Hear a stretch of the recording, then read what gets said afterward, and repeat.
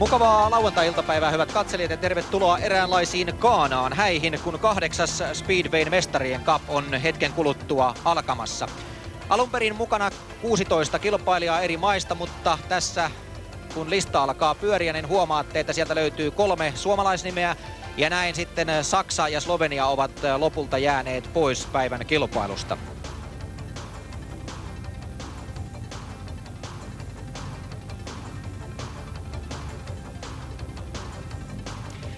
Tässä toinen päivän pääosan esittäjistä. Speedway-pyörä. Takapyörä, siinä on vanne käännettävä, ei myöskään takajousitusta. Pyörästä ei löydy vaihdelaatikkoa ja siinä rautakenkä, joka kuljettajalla pitää myös olla. Metanolikäyttöinen Speedway-pyörä, jossa myöskään ei ole jarruja.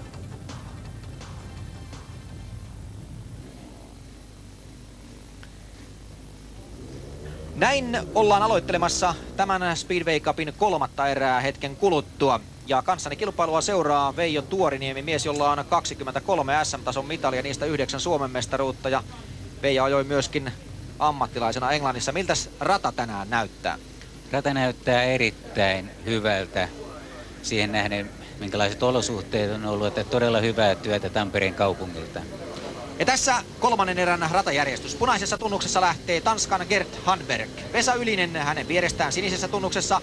Venäjän Sergei Kusin valkoisessa tunnuksessa ja Norjan Lars Gunnestad keltaisessa tunnuksessa. Tämä on myöskin järjestys sisäradalta lukien. Erittäin kovassa erässä Vesa Ylinen suomalaiskuljettaja tässä on. Ja näin lähdetään ja tiukan startin sisältä ottaa punaisessa tunnuksessa lähtenyt Tanskan Gert Hanberg viime vuoden maailmanmestaruuskilpailujen kolmonen ja heti hänen kantaansa keltaisessa tunnuksessa erittäin vahvasti Norjan Lars Kynnestad, kun ensimmäistä kertaa tullaan maali suoralle. Tanskalainen ja norjalainen ovat selkeässä johdossa ja sitten Kusin ja Ylinen taistelevat sijoista kolme ja neljä. Todella vahvaa menoa näiltä kahdelta pohjoismaalaiselta. Todella Tämän Kaanaan radan ratainnetus on 66-45 ja se on Tanskan Hans Nielsenin nimissä näiden pyörien nopeudet nousevat pitkälle toiselle sadalle kun mennään. Ja edelleenkin eh, vahvaa tiukkaa taistelua. Lars Kynnestad norjalainen on siirtynyt kärkeen. Ja tässähän tilanne on se, että voittaja ottaa kolme pistettä, kakkonen kaksi pinnaa ja kolmonen yhden pisteen. Edelleen Kynnestad, Handberg ja sinisessä tunnuksessa Vesa Ylinen on tässä vaiheessa pisteessä kiinni. Ja viimeistä kertaa taitetaan takakaarteeseen ja ollaan tulossa maaliin. Norjan Lars Kynnestad hallitsee erää. Selkeästi hän tulee voittamaan. Näin voittajana kakkosena Handberg, kolmantena Ylinen ja neljänneksi tässä erässä jää Venäjän Sergei Gusin. Siinä voittaja Lars Kynnestad, Norja. Taas huomasi ammattimiesten eron siinä. Siinä kundista. Hän tykkää tästä radasta eritoten. Hän täällä ajanut hyviä kilpailuja ennenkin ja kertoi, että Englannissa nyt on niin nousujohteista tämä kausi ruvennut tulee. Että välillä kävi vähän maissa, mutta nyt on kulkenut noin kahdeksan pisteen keskiarvolla Englannin liikaa.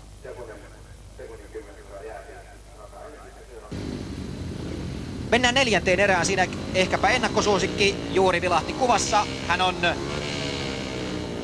Australian Lee Adams valkoisessa tunnuksessa. Sisältä Arto Orjo. Puolan Thomas Kolo. Sitten Adams ja Latvian Nikolas Kokins lähtee keltaisessa tunnuksessa. Arto Orjo siis paikkaa pois jäänyttä Slovenian edustaja. Näin startti onnistuu jälleen ensimmäisellä kerralla. Painetaan tiukasti ensimmäiseen kaarteeseen ja nyt melkoisessa nipussa miehet siellä ovat. Ja näin valkoisessa tunnuksessa Australian Lee Adams ottaa itselleen kärkipaikan. Tämä nuorten viime vuoden maailmanmestari ajaa erinomaisen hyvin ensimmäisen kierroksen. Kun maalisuora ohitetaan Arto Orjoon komeasti tässä vaiheessa kilpailun kakkosena Orjon tunnus siis on punainen. Sitten sinisessä tunnuksessa on Puolan Thomas Kolobia näyttäisi siltä, että Latvian ajaja Kokins olisi hivenen jäänyt.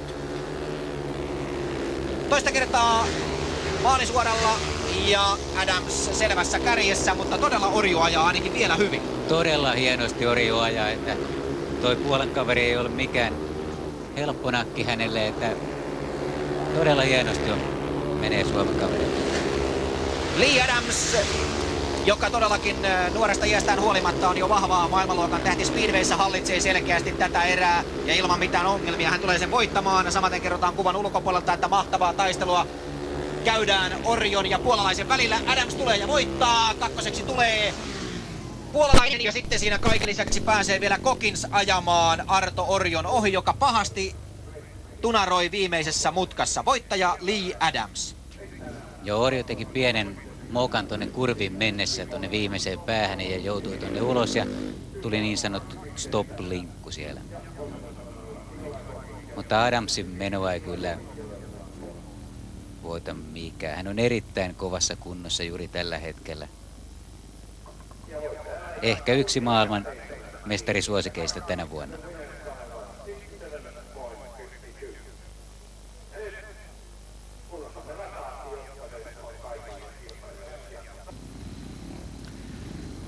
Mennään erään kahdeksan. Andreas Bösner Itävallasta punaisessa tunnuksessa, Hollannin Rob Steeman sinisessä, Norjan Lars Kynnestad, joka voitti jo yhden erän valkoisessa tunnuksessa ja Australian Lee Adams keltaisessa tunnuksessa. Tässä on hyvin mielenkiintoinen erä tulossa sikäli, että todella Kynnestad ja Adams ovat molemmat jo yhden erän voittaneet. Ja tässä kun miehet kohtaavat, jaetaan niitä tärkeitä voittopisteitä. No nytten siellä on kyllä Kunnestadilla pikkasen parempi tarttipaikka, mutta edellisen startin, minkä Adamsi otti, niin se oli todella mahtava oikein hyppästystä viivalle liikkeelle. Ja näin päästään liikkeelle ja kahta luotaratoa kannattaa seurata heti välittömästi. Vahvasti molemmat lähtevät liikkeelle niin kuin olettaa sopiikin. Eli kärjessä siellä viilettävät keltaisessa tunnuksessa Lee Adams ja hänen perässään sitten valkoisessa tunnuksessa Norjan Lars Kynnestad. Ja tämä kaksikko ratkaisee voiton, mikäli mitään erikoista ei tapahdu. Kerrotaan nyt sen verran, että edellisessä erässä Suomen Vesa Ylinen johti viimeiselle suoralle saakka, mutta sitten kone hajosi ja näin Vesan hieno erä meni hukkaan, joten mitä tahansa tässä voi tapahtua. Lee Adams pitää kärkipaikkaa edelleen hallussaan ja pitää myöskin ajolinjoista huolta niin, että hän pääsee vahvasti hallitsemaan tilannetta. Onko tuossa nyt norjalaisella oikein mitään mahdollisuuksia?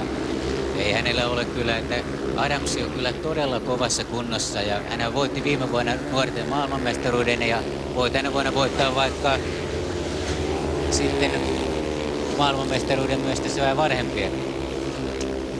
Tässä erot ovat kasvaneet rajuiksi. Kaksikko pitää edelleen tiukasti tuntumaan toisiinsa kun maaliin tullaan. Ja Australian Lee Adams pitää kärkipaikan. Kakkosena on Kynnestad. Kolmanneksi tulee tässä erässä Andreas Bösner ja neljänneksi eli viimeiseksi jää Hollannin Rob Steeman. Näin Lee Adams on voittanut molemmat ajamansa erät.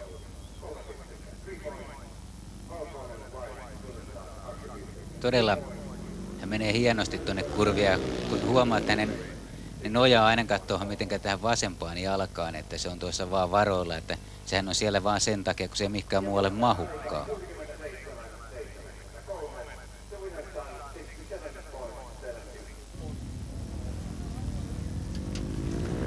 Ja sitten mennään seuraavaan erään, joka on yhdeksäs erä. Tilanne kahdeksan ajetun erän jälkeen on tällainen.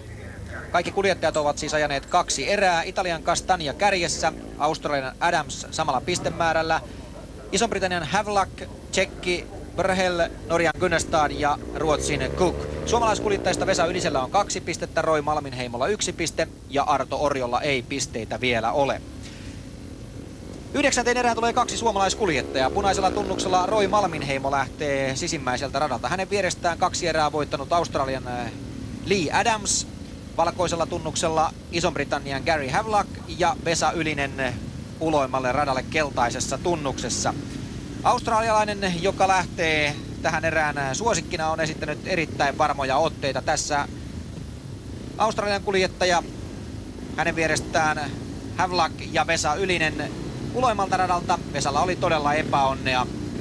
Edellisessä ajamassaan erässä hän oli vahvasti voitossa pitkään kiinni, mutta sitten moottorin rikko aiheutti sen, että siitä erästä ainoastaan piste hänelle tuli. Toivottavasti nyt on kaikki moottorin osalta kunnossa.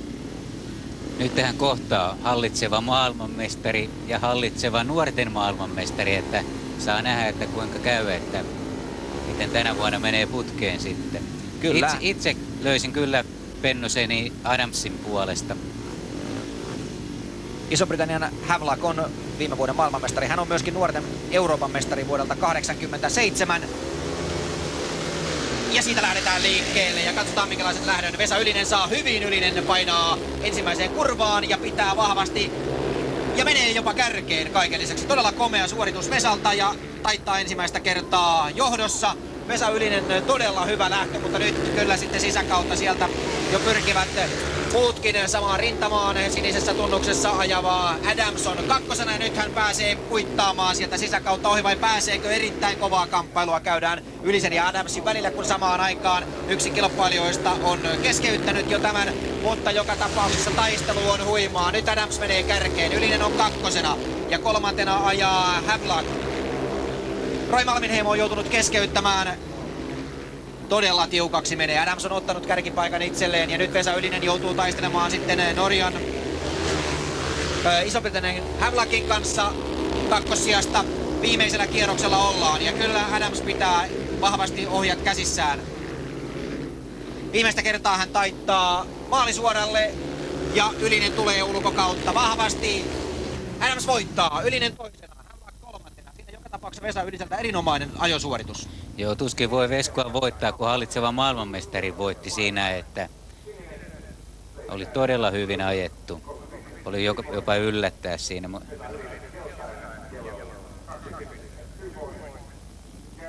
Joo, siellä Roi vähän rupesi peruuttamaan, vähän tyypillinen kuvio sille.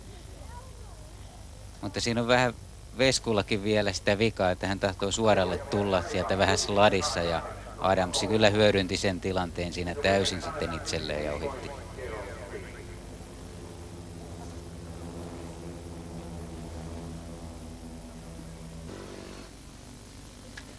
Erä numero 10 ja taistelun makua ilman muuta jälleen ilmassa. Norjan Lars Kynnestad lähtee punaisessa tunnuksessa. Tsekki Börhel hänen vierestään sinisessä tunnuksessa. Arto Orjo ja sitten uloimpaa keltaisessa tunnuksessa Italian Armando Castania, joka on voittanut molemmat ajamansa erät. Eli tällä hetkellä pelin henki on se, että jos Armando Boy aikoo pysyä kisassa Adamsin kanssa mukana, niin tämä erä hänen pitäisi voittaa.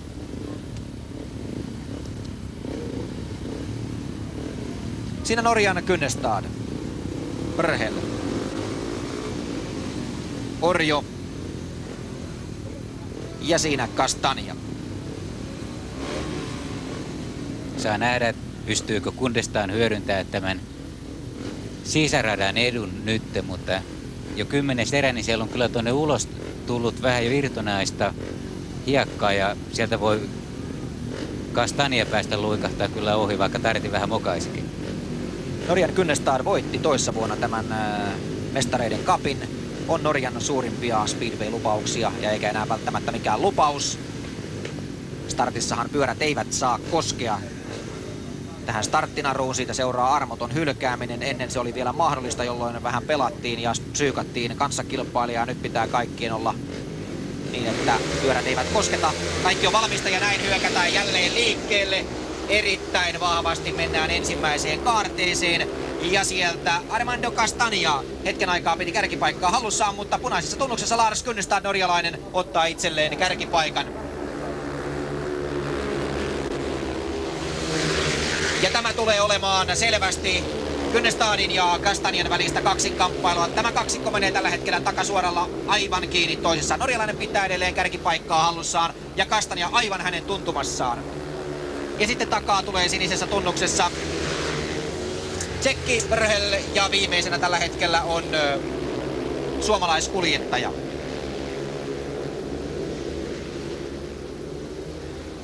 Hyvin Kynnestad hallitsee nyt tilannetta. Kastania vahvasti häntä ahdistelee viimeiselle kierrokselle. Lähdetään. Ja näin norjalaiskuljettaja olisi ottamassa kolmea pistettä itselleen. Ja näyttää siltä, että siinä ei Armandolla nyt ole mitään mahdollisuuksia. Lars Kynnestan hallitsee pyöränsä, hallitsee hermonsa erittäin hyvin ja tulee ja voittaa tämän erän komeasti. Näin hänelle kolme pistettä Armando Castania ottaa kaksi pinnaa. Ja suomalaiskuljettajista Arto Orjo avaa myös pistetilinsä ja näin viimeiseksi tässä erässä jää Tsekki Bohumil Börhel. Vähän yllättävää oli Tsekkiä viimeisessä, odotin häneltä kyllä kovempaa panosta. Siinä Kundestadin tyylinäytteitä.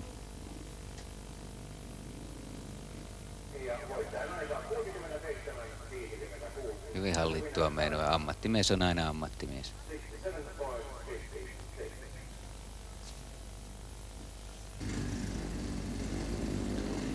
Ja seuraavaan erään, joka on erää numero 11 tässä kilpailussa, ajetaan kaiken kaikkiaan 20 erää. Ja sen jälkeen mestareiden kapin voittaja on selvillä. Kilpailijat ryhmittyvät lähtöalueelle. Ja jokaisella siinä on omat rituaalit lähtöpaikkaa. Laitetaan kuntoon. Tässä luonnollisesti vähän rata on pehmennyt. Sisältä lähtee punaisessa tunnuksessa Hollannin Rob Steeman. Sinisessä tunnuksessa Venäjän Sergei Gusin. Valkoisessa tunnuksessa Ruotsin John Cook. Ja uloimpana Puolan Thomas Kolov keltaisessa tunnuksessa. Tämä on ennakkoon hyvin tasaisen tuntuinen erä. Ketään välttämättä ennakkosuosikkia siinä ei ole, kun jälleen erinomaisen vahva ja hyvä lähtö. Se, mikä on ollut aika ominaista näille eri toistaiseksi on ollut se, että mitään ongelmia ei ensimmäisessäkään kaarteessa ole ollut, mikä normaalisti on aika speedwayssä aika yleistä. No se on kyllä, mutta nyt on niin hyvä tasoisia kuljettajia täällä ja siellä Cowboy Kuukki vähän roikku siellä pyörän sivulla ja virroitti oikean jalan tapilta ja hän on hyvin tavanomaista, kun toi takarengas on aika kulmikas ja pitää pyörää pyrkiä pitämään mahdollisimman pystyasennossa ja hän siellä tulee pyörä aivan pystyssä ja hakee pitoa sille. John Cook johtaa. Puolan Kolop on toisena. Tämä kaksikko on erkaantunut selvästi karkumatkalle. Sen jälkeen sinisessä tunnuksessa ajava Sergei Kusin.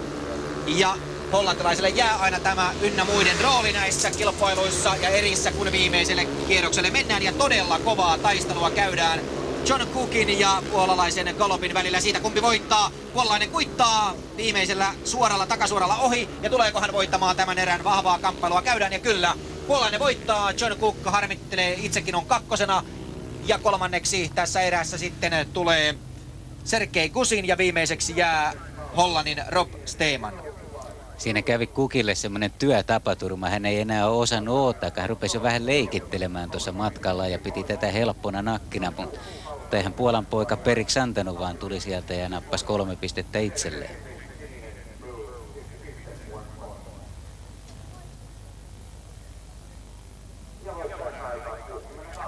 Siellä kukki pyörittelee päätään.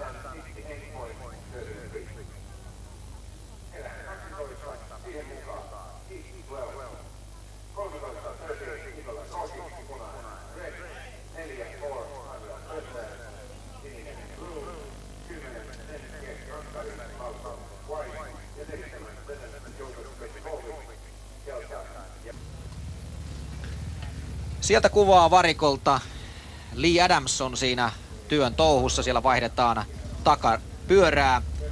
Alkamassa on kuitenkin 12 erä, mikä tarkoittaa sitä, että sen jälkeen kaikki kilpailijat ovat kolme erää ajaneet.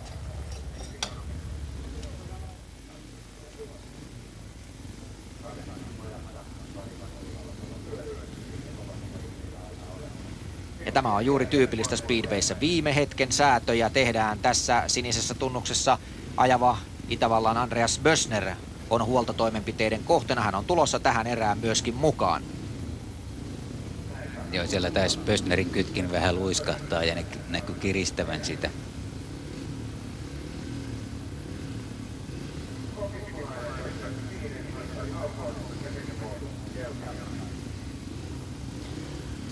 Pösnerhän on jo kilpaaja toisessa sukupolvessa. Nikolai Skokin Latviasta punaisessa tunnuksessa sisältä. Hänen vierestään nimenomaan Itävallan Andreas Bösner. Gert Handberg, Tanska, joka vielä toistaiseksi ei ole aiemmissa erissä ollut ihan parhaimmillaan. Ja uloimpaa lähtee Josef Petrikovits, Unkari. Ja Handbergiltä varmasti kannattaisi tässä erässä nyt odottaa jo jotain vähän parempiakin suorituksia. Hän on viime vuoden eh, tämän mestareiden kapin voittaja.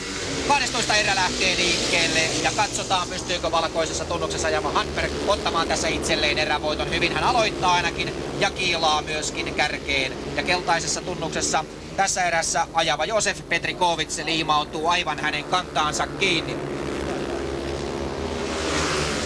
Ja aivan lähekkäin siinä Hanberg ja Petrikovits menevät. Siinä Hanbergin kantti kestää kuitenkin paremmin, kun kilpailijat hetken kuluttua toista kertaa tulevat maalin kohdalle. Eroaa sitten jo selvästi syntynyt punaisessa tunnuksessa ajavaan Latvian Kokiniin. Hän näkyy siinä kolmantena kuvassa. Ja tällä hetkellä ainoastaan nämä kolme kilpailijaa myöskin radalla olevat. Siellä pujahtaa juuri tässä kuvassa sinisessä tunnuksessa ajanut Andreas Bösner. Hän ei ole enää kilpailussa ja leikissä mukana. Viimeinen kierros lähtee liikkeelle ja Hanberg tällä hetkellä hallitsee kuviota. Petrikovic on kakkosena. Ja vahvasti tanskalaiskuljettaja nyt pitää ohjea käsissään. Ja siinä ajetaan urku auki koko ajan. Tämä Kaanaan rata on sen verran pitkä, että siellä ei tarvitse löysäillä. Kun Gert Hanberg Tanskasta voittaa, Petrikovic kakkosena. Ja kolmanneksi tässä erässä tulee Latvian Nikolais Kokin.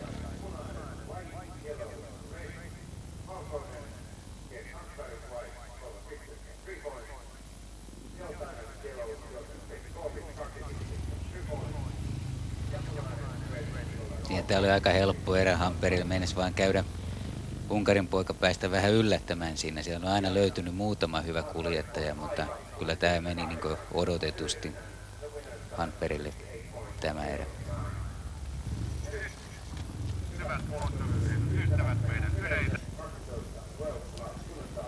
Näin jokainen kilpailija on todella kolme erää ajanut ja hetken kuluttua käynnistyy 13 erä. Sitä ennen katsotaan kuitenkin tämänhetkistä tilannetta. Australian Lee Adams johtaa. Hän on voittanut kaikki kolme erää, yhdeksän pistettä. Italian Castania ja Norjan Kynnestad seuraavina. Sitten Puolan Golob, Ison-Britannian Havlak ja Ruotsin Cook. Suomalaiskuljettajista Vesa Ylisellä on yksi, neljä pistettä, Roy Malminheimolla yksi piste ja Vesa Orjolla myöskin yksi piste. Ja tämä seuraava erä tulee hyvin pitkälle näyttämään jo suuntaviivoja mitalisijojen suhteen. Siellä on sellaisia kuljettajia, jotka tällä hetkellä keikkuvat aivan kärkiryhmässä. Puolan Thomas Kolov on tässä valkoisessa tunnuksessa virittelemässä omaa pyöräänsä. Hän on kerännyt pisteitä seitsemän, eli varsin hyvin kärkikahinoissa mukana.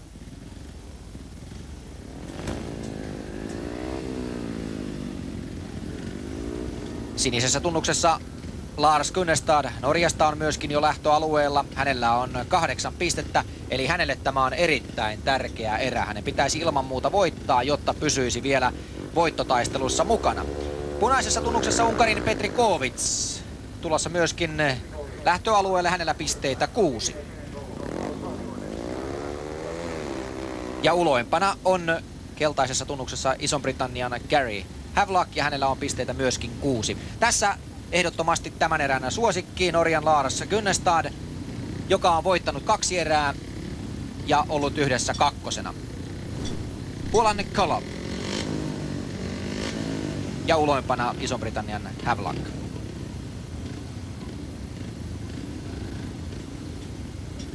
Ja nyt rata on sitten laitettu aivan uuteen uskoon ja tämä taas sitten tietysti tietää sitä, että lähtö on hyvin tärkeä. Kyllä se on erittäin, nämä on hyvin tasaväkisiä kavereita ja siinä kundistaan rauhassa ootteli tuolla kauempana ja tuli vasta tässä viime tinkaan sitten tähän ritsoille. Ja... ja näin moottorien jyly saattelee jälleen kilpailijat liikkeelle, kun taitetaan ensimmäiseen mutkaan ja siellä pientä pientä Jönimistäkin oli, mutta valkoisessa tunnuksessa Puolan Thomas Kolop kiitää kärjessä sinisessä tunnuksessa Lars Kynnestad on kakkosena ja punaisessa tunnuksessa Petri Kovits kolmantena. Ja näin viimeisenä sitten eh, Gary Havlock, joka on ollut mielestäni tämän päivän kilpailussa pienoinen pettymys. Kovaa kamppailua käydään puolalaisen ja norjalaisen kuljettajan välillä tällä hetkellä kärkipaikasta. Joo, mutta uskon, että Kundestaan tulee vielä ohittamaan sen. Ja vähän on yllättäen kyllä Hävellokia tänään kyllä ollut parhaassa terässä ja nytkin hän pitää tuolla perää ja en tiedä sitten rasittaako matka, hän lenti tänne viime tingassa. Viimeinen kierros lähtee liikkeelle ja edelleenkin Puolan Thomas Kolov vahvasti rynnistää kärjessä. Könestadin pitäisi siis voittaa ilman muuta tämä erä, jotta hän taistelisi tämän päivän kokonaisvoitosta, mutta näyttäisi siltä, että puolalaiskuljettaja, joka on viime vuoden nuorten maailmanmestaruuskilpailujen kuutonen, pitää kärkipaikan itsellään ja kyllä hän tulee ja voittaa komeasti. Kakkosena on Kynnestaan ja kolmanneksi tulee Petri Kovits ja näin Havlak jää tässä erässä neljänneksi. Todella yllättävä käänne kilpailussa. Nyt en oikeastaan terävimpään kärkeen menetti kundistaan mahdollisuutensa nyt, mutta pisti kyllä pakan sekaisin näistä muista metallisijoista jaettaisiin. Ja pitää muistaa se, että puolalaiskuljettajat sekä Puolan liika on tällä hetkellä aivan maailman eliittiä. Puolan liika on tällä hetkellä maailman yksi kovimpia liikoja ja sieltä löytyy todella kovia kuskeja. Ja tämä rata suosii niitä, kun niiden omat radat on tämmöisiä pitkiä ratoja. Tämähän on Speedway-radaksi vähän pitkäkö.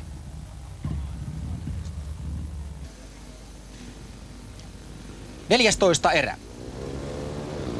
Ja jälleen hyvin tärkeä erä sikäli, että punaisessa tunnuksessa sisältä lähtevä Italian Armando Castagna on totuuden edessä. Hänen on jälleen pyrittävä voittoon, jotta pysyy voittotaistelussa kokonaiskilpailussa mukana. Vierestä lähtee Latvian Nikolais Kokin.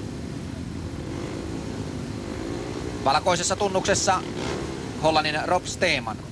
Toistaiseksi ei pinnan pinnaa.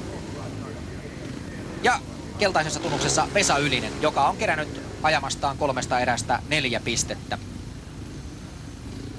Tässä selvästi ennakkoon ajateltuna Vesala pitäisi olla hyvät mahdollisuudet kakkospaikkaan. Latvian Kokins ja Hollannin Steeman ovat sellaisia kuljettajia, että Vesalle ei pitäisi olla vaikeuksia heidän kanssaan, mutta miten käy sitten Kastanian kanssa, joka sisältä ottaa jälleen erinomaisen tähdön niin kuin tekee aina. Ylinen painaa kuitenkin ulkokautta väkisin hänen rinnalleen, mutta ei pääse ohi, ajautuu liian ulos. Ja näin sisäkautta pääsee sitten hetkeksi aikaa myöskin sinisessä tunnuksessa ajava Kokin hänen edelleen.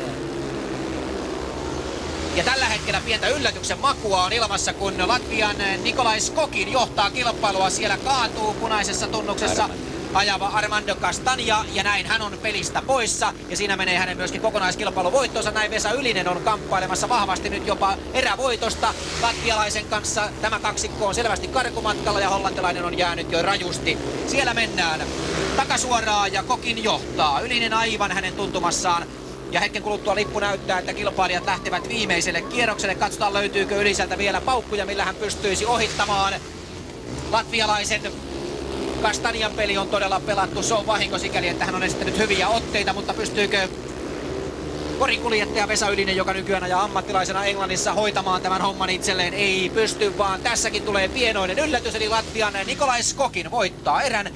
Vesa Ylinen ottaa kaksi pistettä kakkostilallaan ja myöskin hollantilainen Rob Steeman avaa pistetilinsä ja saa itselleen pisteen. Tässä oli kuitenkin pientä yllätyksen makua. Todella oli. Olisin kyllä luullut, että Vesko olisi pystynyt ohittamaan, mutta Latvian poika vähän yllätti siinä ja ei voi mitään. Kolme pistettä taskuun ja sillä siisti.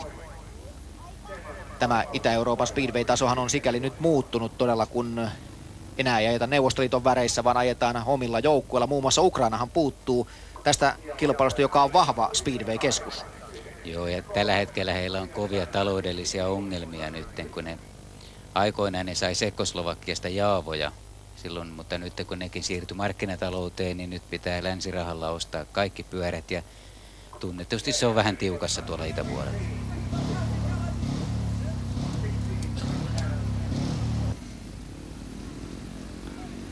Ratkaisun makua alkaa olla. Erä 15 on lähdössä liikkeelle. Siinä Australian Lee Adams, joka on voittanut siis kaikki kolme ajamaansa erää ja voittaessaan tämän on vahvasti kiinni kokonaiskilpailun voitossa. John Cook, ruotsalaiskuljettaja, tai Ruotsin lisenssillä ajava yhdysvaltalainen lähtee hänen vierestään. Valkoisessa tunnuksessa Gert Hanberg, tanskalaiskuljettaja, myöskin vielä hyvin kuvioissa mukana.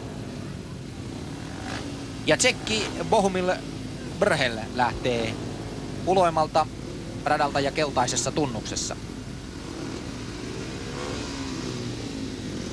Tässä erässä taistelu todennäköisesti tullaan käymään Adamsin ja Hanbergin välillä. Mutta edellinen erä jo osoitti sen, että kaikki on mahdollista. Speedway on niin arka laji, että siinä voi tapahtua aivan mitä tahansa. Adams ottaa sisältä hyvän lähdön ja aivan hänen imuunsa. John Cook pyrkii Adams kuitenkin ottaa kärkipaikan itselleen. Hän on jokaisessa erässä lähtenyt todella tehokkaasti liikkeelle, eikä ole paikkaansa missään vaiheessa luovuttanut. Sinisessä tunnuksessa John Cook on kakkosena, valkoisessa tunnuksessa Gert Handberg kolmantena ja Tsekki Brhel pitää tällä hetkellä perää. Todella kat- nautinto katella Adamsin ajoa. Se ei ole mitenkään väkinäistä. Hän on vähän niin kuin mokolla kirkkoa ajamassa siinä. Se on helppoa, kun osaa sen.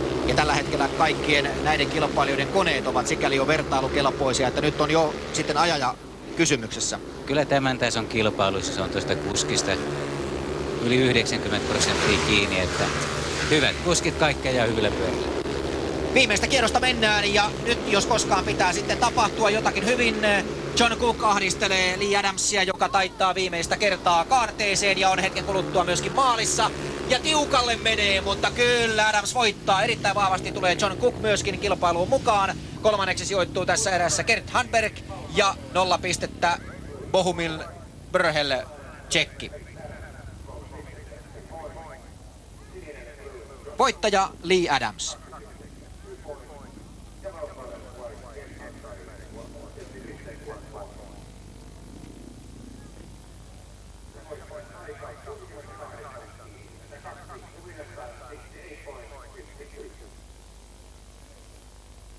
Siinä Cook, yritti jänkeä sinne Adamsin sisäpuolelle, mutta ei mahtunut kyllä sitten. Ja hän yritti taas irrotti tuon jalkansa ja yritti tehdä kaikkensa siellä viimeisessä päässä, että olisi saanut pitoa takapyörälle, mutta ei niin ei.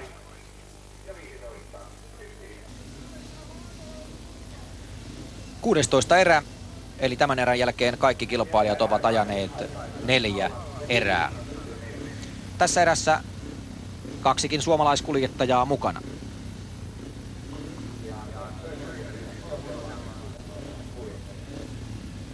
Kolme ajajaa jo valmiina ja neljäskin sieltä tulee ja näin homma alkaa olla sitä myöten selvää. Sisältä lähtee Sergei Kusin, Venäjä.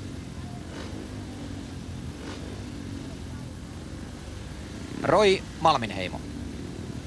Roilla on yksi piste kolmesta ajetusta erästä.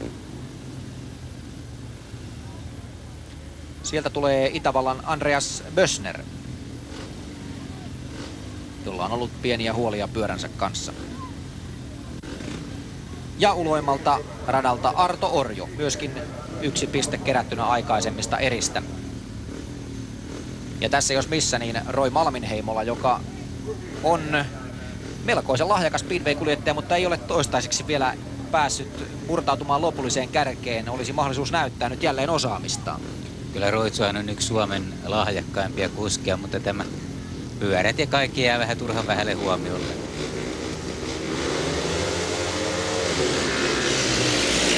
Ja hyvin lähtee ulkoa liikkeelle keltaisessa tunnuksessa Arto Orjo. Ajautuu sen verran ulos kuitenkin, että siitä pääsee Roy Malminheimo menemään kärkeen. Hän ajaa siis sinisessä tunnuksessa ja punaisessa tunnuksessa Sergei Kusin on aivan hänen tuntumassaan ja erittäin pahasti ajoi keltaisessa tunnuksessa ajava Arto Orjo äsken lähelle reunaa, mutta onneksi ei tapahtunut mitään sen kummempaa. Tällä hetkellä venäläis-suomalaistaistelu aivan kärjessä, pyörät ovat toisissaan kiinni ja katsotaan millä tavalla Roy Malminheimon kantti nyt pitää. Roy joutuu antaa siinä periksi, ei rupea kun kädet jo vähän puutumaan. Siellä pyöräitä on pysyä hanskassa enää ollenkaan ja tulee vähän ylimääräistä kuvioa. Ja näin venäläiskuljettaja Sergei Kusin hallitsee selvästi tilannetta, lähtee viimeiselle kierrokselle. Roy Malminheimo on edelleen kakkosena, Arto Orjo ajaa kolmantena ja Andreas Pösner on selvästi jäänyt ja hänellä lienee jotain vaikeuksia kyllä nyt myöskin pyöränsä kanssa, kun venäläinen tulee. Ja ilman mitään ongelmia hän voittaa tämän erän, ottaa itselleen kolme pistettä, Malminheimolle kaksi pinnaa ja Orjolle yksi piste. Näin suomalaiskuljettajilta kuitenkin ihan kohtuullinen panos.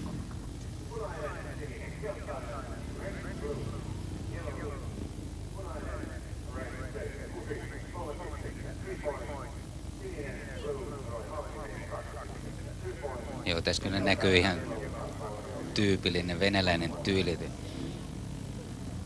Yllättävän paljon hän ohjaa käsillään tuota pyörää ja speedwaytä nyt pitäisi ajaa, että niin kuin vasen käsi voisi olla vaikka taskussa, että oikealla hän ajaa vartalolla kauheasti tuota pyörää, mutta ne ajaa väkisin eikä mitenkään nätisti. Ja siellä Orjo se big moment, siellä meinaa vähän aidat kolista, mutta onneksi pyörä pysyy vielä laitojen sisäpuolella.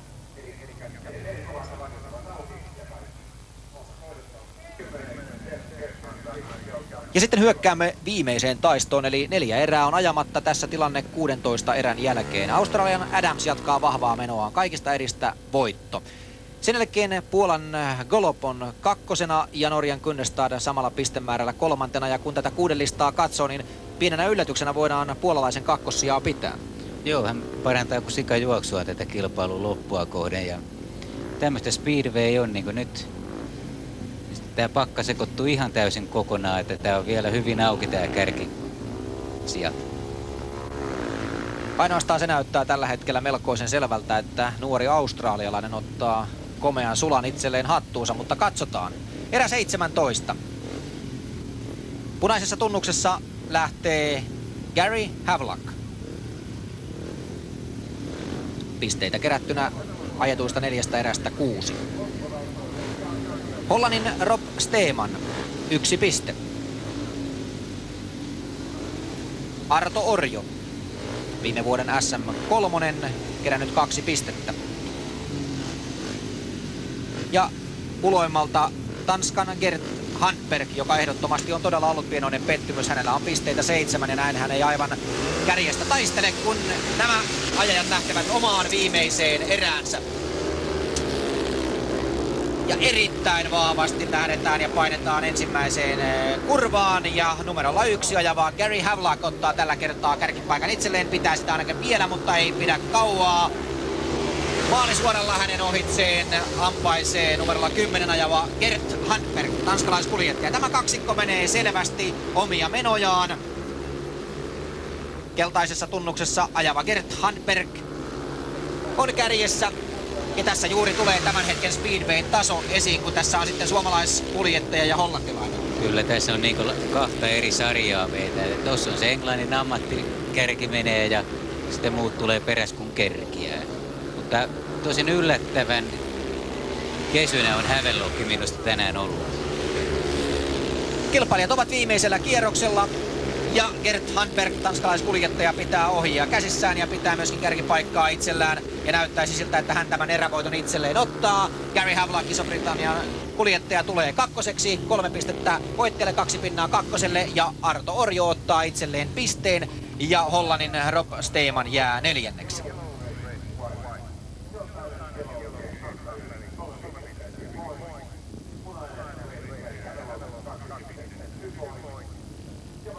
Gert Handberg, tanskalaiskuljettaja, on viime vuoden maailmanmestaruuskilpailujen pronssimitalimies.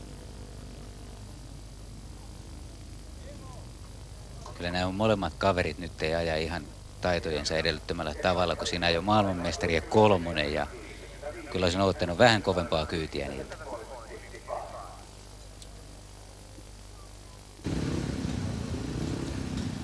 18 erä on alkamassa ja tässä erässä sitten ratkaistaan tämän mestareiden kapin voitto. Punaisessa tunnuksessa Venäjän Sergei Kusin neljästä ajetusta erästä kerättynä viisi pistettä. Italian Armando Castagna menetti mahdollisuutensa edellisessä erässä, jäi pisteitä hänellä kahdeksan pinnaa tällä hetkellä. Unkarin Josef Petrikovic, seitsemän pistettä. Ja uloimmalta radalta lähtee Australian Lee Adams.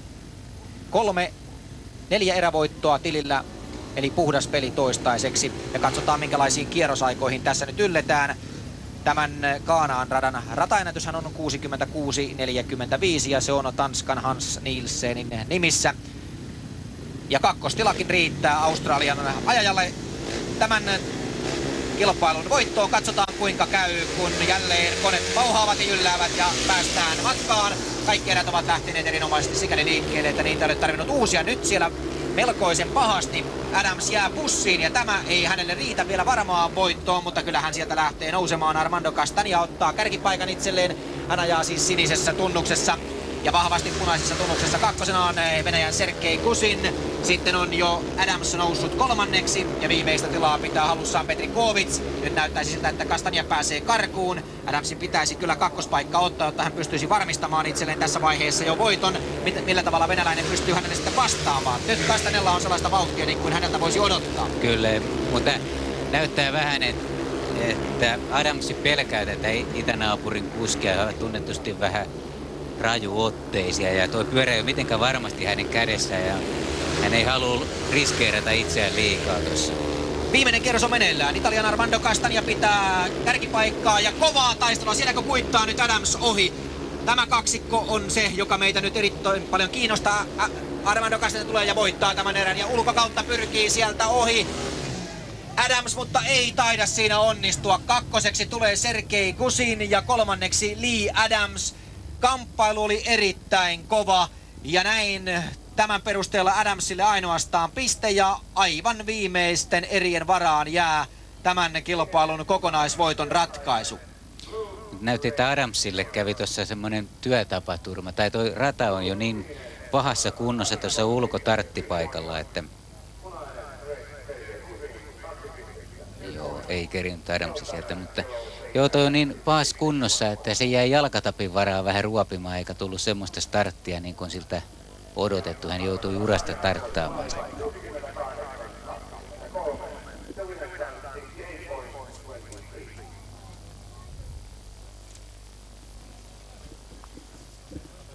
Siinä erävoittaja Armando Castania.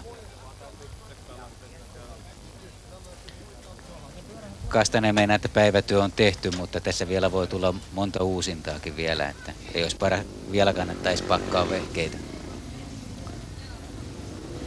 Kastanian voittoaika 68-23. Siinä teille vähän vertailupohjaa, minkälaisista ajoista tässä on kysymys, kun siis rataennätys on 66-45. Toisiksi viimeinen erä on lähdössä.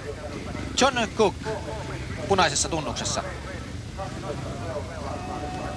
Lars Kynnestad, norjalaiskuljettaja ja nyt hänellä totuuden paikka myös.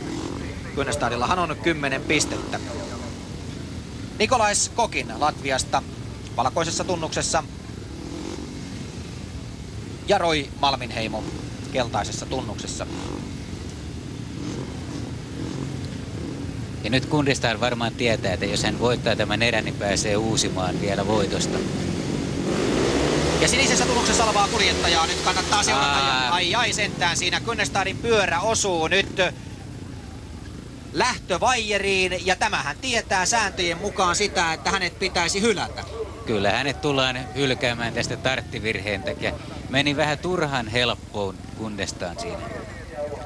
Voi voi sentään, näin kai täytyy sanoa. Norjalaiskuljettaja Lars Kynnestad menettää omaan hätäilynsä tämän kilpailun mahdollisen voiton. Hän lähtee varikolle, siinä ei auta yhtään mikään. Tällaista dramatiikkaa sisältyy Speedway-kilpailuihin. Ennen tämä psyykkaaminen oli mahdollista, nyt se on taakse jäänyttä elämää. Näin norjalaiskuljettaja hylätään ja hänelle ei siis pisteitä tule. Ja tämä tietää sitä, että Australian Lee Adams turvaa tällä itselleen sitten jo lähes varman voiton. Toki viimeisessä erässä ajaa vielä Puolan Thomas Kolob, joka saattaa tehdä ihmeitä voittaessaan erän.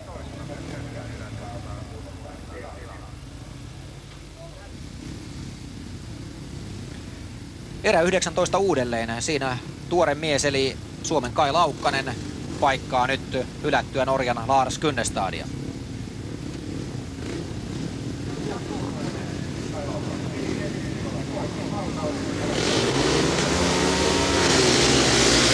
Sisältä punaisessa tunnuksessa ampaa Ruotsin John Cook kärkipaikalle ja pomputtelee sen verran siinä pyöräänsä, että keltaisessa tunnuksessa ajava Roy Malminheimo pääsee aivan häntä hätyyttelemään. Ja siinä käy sitten suomalaiskuljettajalle eli Kai Laukkaselle kuvan osoittamalla tavalla, mutta kärki painaa täällä täyttä päätä karkuun. Siellä John Cook ja Malminheimolla on pieniä vaikeuksia jälleen pyöränsä kanssa. Siellä on pieniä, mutta on kanssa vähän ajo nyt. Entä meni roilla vissiin vähän rytmi sekaisin, kun joutui vaihtaa moottoria tuossa ennen kilpailua. Ja nyt on kyllä ajo sekaisin vähän. John Cook hallitsee selkeästi ja ylivoimaisesti tätä erää. Viimeiselle kierrokselle lähdetään. Erä maku kaatui saman tien siihen, kun kunnestaan hylättiin. Nämä kolme miestä taistelevat sitten enää. Kai Laukkanen on jo siirtynyt syrjään.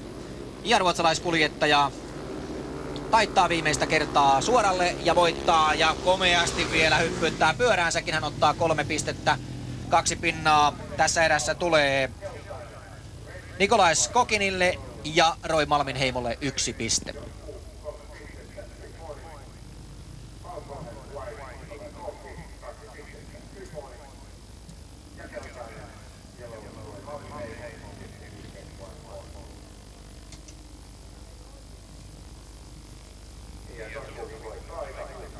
Joo, siellä vähän kailaukkasen pyörä haukkasi. Siellä oli varmasti joku radassa joku reikä ja pyörä haukkasi ja hyppäsi siinä Malmenheimon takapyörään kiinni. Ja hyvin tyypillinen kaatuminen Speedwayssä, mutta onneksi ei sillä kaverille käynyt mitään ja kävelee ehjän nahoin pois.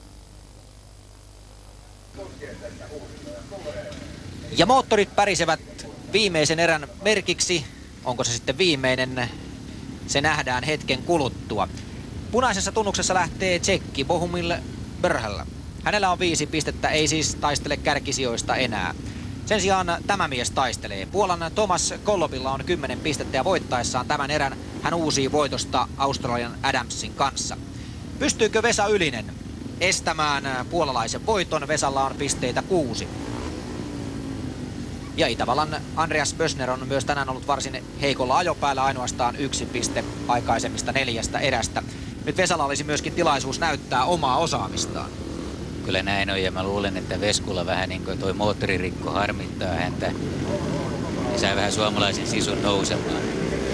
Katsotaan riittääkö se puolalaiselle. Luulisi, että näiden kahden kilpailijan välillä voitosta käydään armoton kamppailu. Ja ensimmäiseen kaarteeseen vahvasti rynnistää sinisessä tunnuksessa ajavaa Puolan Kolop. Ja Vesku ajautuu niin ulos, että hän on hetken aikaa jopa viimeisenä. Puolalainen ottaa paikkansa kärjessä. Ja katsotaan nyt sitten, pystyykö hän sen myöskin pitämään. Punaisessa tunnuksessa ajaa Bohumil, Bröhel ja Vesa Ylisellä siis on valkoinen tunnus ja keltaisessa tunnuksessa Bösner tällä hetkellä viimeisenä. Mutta nyt pääs vähän Puolan kaveri karkaamaan Veskulla tuosta. Toi, joo, toi on muiden perässä, mutta saa kiinni koko ajan ja tiedä vaikka vielä pääsee tutkaa ohi. Siellä on pieni ongelmi nyt Veskulla itselläänkin. Toiseksi viimeistä kertaa kilpailijat taittavat maali suoralle. Viimeinen kierros siis lähtee liikkeelle. Hyvin ylinen lähestyy puolalaista ja pääsee sisäkautta yrittämään ohi. Puolalainen ajautuu hivenen ulos, mutta ylinenkään ei saa taitettua pyöräänsä kunnolla. Ja näin Thomas Kollov, hän tietää kyllä tilanteen viimeisessä kaarteessa ei saa tulla minkäänlaisia ongelmia. Hänellä on hetken aikaa jopa aikaa katsella taakseenkin ja näin eh, Thomas Kolop tulee ja voittaa tämän erän. Ylinen on kakkonen ja kolmanneksi tulee punaisessa tunnuksessa ajanut Tsekki Brhel. Kolme pistettä puolalaiselle ja näin tästä mestareiden kapista käydään uusinta voitosta Lee Adamsin ja Thomas Kolobin välillä.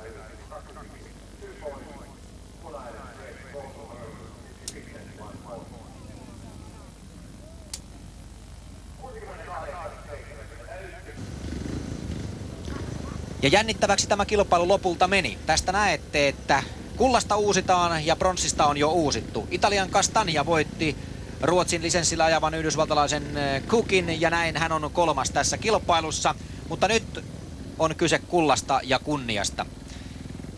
Ja siitä ajavat nämä kaksi velikultaa, jotka lähtevät sitten rullailemaan vielä. Eli sinisessä tunnuksessa ajaa Puolan Thomas Kolop. 13 pistettä kerättynä aikaisemmista eristä. Tästä tyypillistä hermopeliä. Nyt kumpikaan ei haluaisi mennä ensiksi tuohon ritsoille vaan ja tulla vähän myöhemmin kuin toinen. Ja nytkin Adamsi kattelee vaan rauhassa sinne. Lee Adams on siis toinen uusia. On tilaa kyllä lähteä ja nyt jos koskaan lähdöllä on hyvin ratkaiseva merkitys. Viimeinen taisto Häissä niin sanotusti, kun lähdetään liikkeelle ja Golov ottaa jälleen erinomaisen hyvän lähdön ja Adams yrittää välittömästi kuitata ohi siinä, mutta ei pääse vielä toistaiseksi ainakaan ja vauhtia pidetään nyt kyllä erittäin hyvin tässä uusinta lähdössä.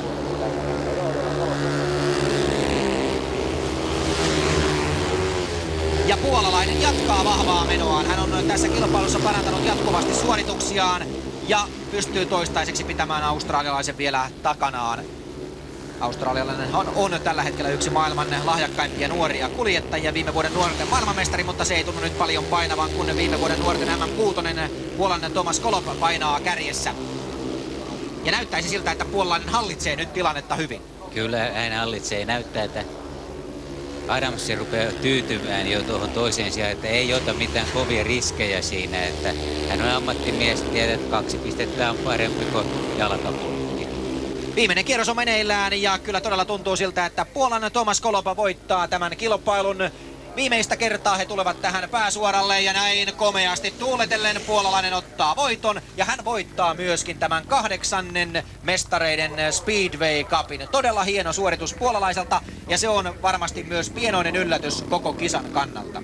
Kyllä se ainakin minulle oli, niin kun kisa alkoi, niin ei näyttänyt, että hän se pääsisi mihkään, mutta niin vaan kävi, että kaveri pokkas koko täällä.